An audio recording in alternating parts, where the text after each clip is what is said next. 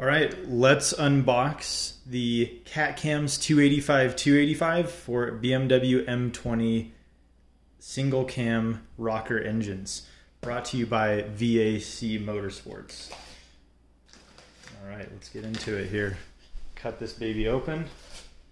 You're seeing it as was received.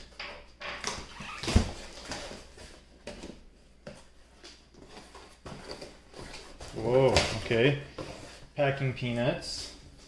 Packing peanuts are a little scary for me, but we're gonna get through this. Ooh.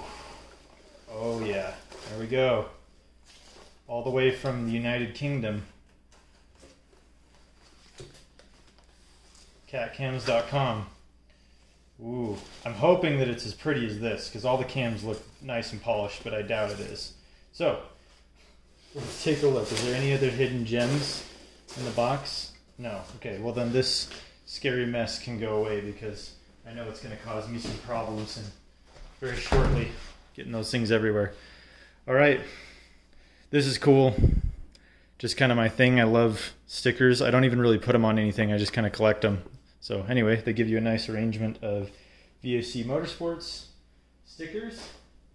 And let's break into the can. Whoa. Oh no. Here we go. Okay, so it comes rolled up like this. Very cool. So here's the cam card. There's beautiful awesomeness of a sticker. And here's the cam card right here.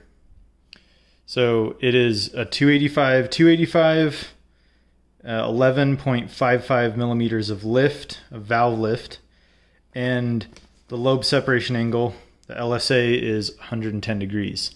So it should sound pretty choppy. Typically on cams, the tighter this is, as in the lower the number, so if it was like a 120 versus a 110, the 110 would sound a lot more choppy. So yeah, really excited for this. Let's check it out. Okay, put these to the side. And, oh, okay. That's nice. I'm going to say good packaging so far, especially since it has to come from the United Kingdom. Um, set this to the side here. And, see. Got some tape. Ooh, it is oily. It is oily. I'm going to be washing my hands after this. Okay. There it is.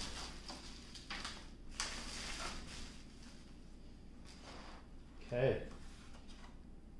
Just as suspected, it is cast in between. All their pictures, it shows that it's like polished, but uh, it's actually not, which obviously, I mean, it's in the motor. It doesn't. It's not a huge big deal. But let me just go over this real quick. You guys can take a look for yourself.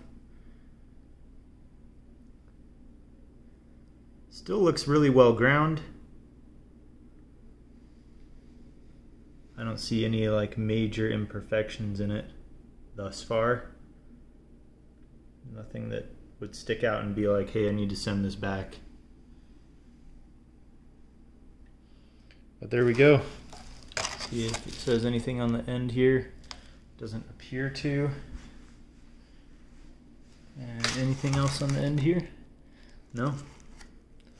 That's it right there.